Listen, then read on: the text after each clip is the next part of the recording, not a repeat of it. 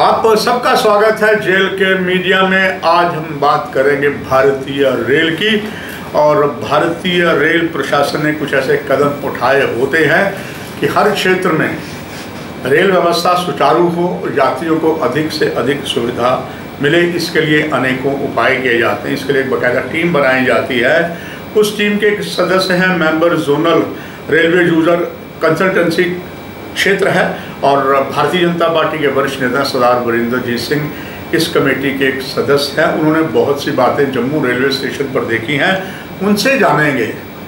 उन्होंने जो देखा है और संबंधित अधिकारियों को बताया वो कौन कौन सी है और हम भी उनसे कोई बात करेंगे। वरिंदर जी, आपका बहुत स्वागत है। जानना चाहेंगे कि जो मेंबर हैं, बहुत से आपने जोनलिस्ट, रेलवे यूज़र, कंसल्टेंसी में बहुत कुछ किया हुआ है।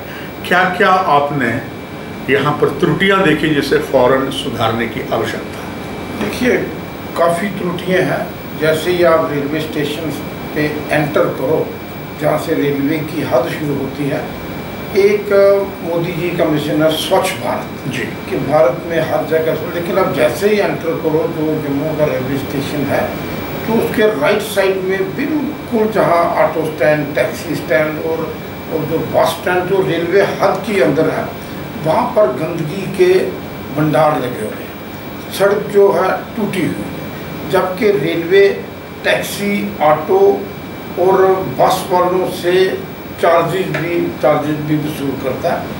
तो वहाँ पर गंदगी बहुत है। रेलवे वालों से बात करो तो वो बोलते हैं कि यहाँ इसको उठाने के लिए हमारे पास गाड़ी नहीं है।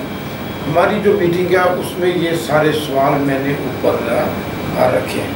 इस तरह से आ, और बहुत से सवाल हैं कि लाखों रुपए खर्च करके सरकार ने रेलवे स्टेशन के बिल्कुल सामने बहुत ऊँचा एक राष्ट्रीय ध्वज तिरंगा झंडा जो है वहाँ पर लगाया हुआ है। लेकिन पिछले दिनों जब मैं गया तो वहाँ पर तिरंगा झंडा नहीं था। मैंने रेलवे अधिकारी से पूछा भैया यार इतना बड़ा ये आपने लाखों रुपए खर्च करके ये रॉड लगाई हुई है? साधारण रॉड नहीं है वो तो इस पर झंडा कोई तो बोले जी फट गया है तो हम उसे चेंज चेंज करें। करोड़ों रुपए का रेलवे का बजट है। क्या एक दो स्पेयर राष्ट्रीय जो ध्वज हैं वो बात मैं मानता हूँ कि नॉर्मल ध्वज नहीं है। उसकी लंबाई काफ़ी मतलब ज़्यादा है जो दूर के अलग अलग प्रतिष्ठित स्थानों पर लगा स्थानों हुआ लगा होता है। लेकिन यहाँ पर वो सिर्फ़ डंडा ही है झंडा। नहीं है। तो इस तरह की और भी बहुत सी बातें हैं अगर मैं आपको बताऊँ जो मैंने उम्मीद है अगली मीटिंग में मैं मैंने उठाई सजेशन मैंने दिया है उसमें वो वो हल होगी। यहाँ पर बहुत सी ट्रेनें जो हैं वो वो जम्मू और कटरा में आती हैं।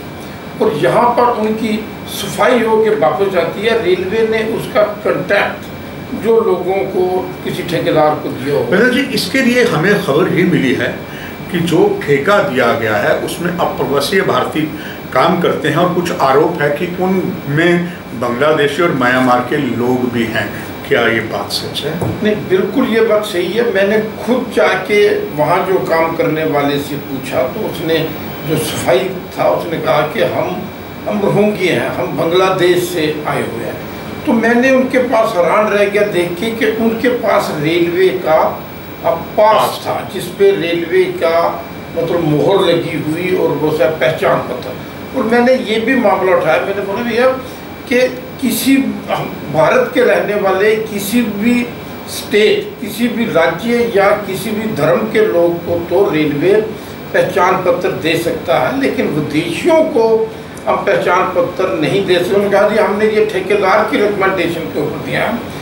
ठेकेदार जो है वो वो रिकोगनाइज है। ठीक है, मैं मानता हूँ कि ठेकेदार रिकोगनाइज होगा, लेकिन वो जिसका, जिसके लिए पहचान पत्र वो मांग रहा है, उसके भी कम से कम आधार कार्ड या दूसरे कुछ कागज़ देख के तो उनको पहचान पत्र देते ये बड़ा वीरेंद्र जी सिंह जी न केवल आप इस भारतीय रेल के जोनल रेलवे यूज़र में कंसल्टेंसी में एक एक आप जाने माने सदस्य हैं भारतीय जनता पार्टी के आप वरिष्ठ नेता हैं और अनेकों सेल की जिम्मेदारियाँ भारतीय जनता पार्टी ने आपको सौंपी हुई हैं।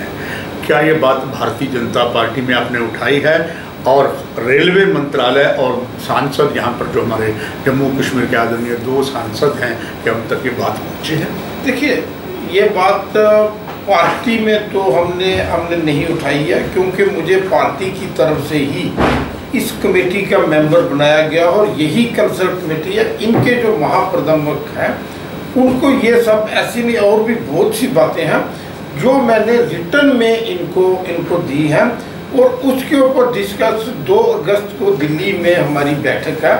उसमें ये हमारी रूबरू होगी जो हमारी, मैंने जो ये बातें उठाई हैं उनके ऊपर वो वो जो है जवाब देंगे या उनके ऊपर वो कार्रवाई कार्रवाई करेंगे। मैंने रिटर्न ये चीज़ें जो है ऊपर तक सर वीरेंद्र सिंह जो बातें बताई हैं, बहुत ही संवेदनशील, बहुत ही चौंकाने वाली हैं, जहाँ पर एक सब राष्ट्रीय ध्वज का अपमान हो रहा है। बांग्लादेशी और हंगिया जिनको बाहर निकालने के लिए बहुत सी पार्टी के कार्यकर्ता, नेता बोल रहे हैं, मगर यहाँ वो काम कर रहे हैं। प्रशासन कुंभकर्ण की नींद सोया है, आशा है जो सर वीरेंद्र जी सिंह ने कदम उठाए हैं।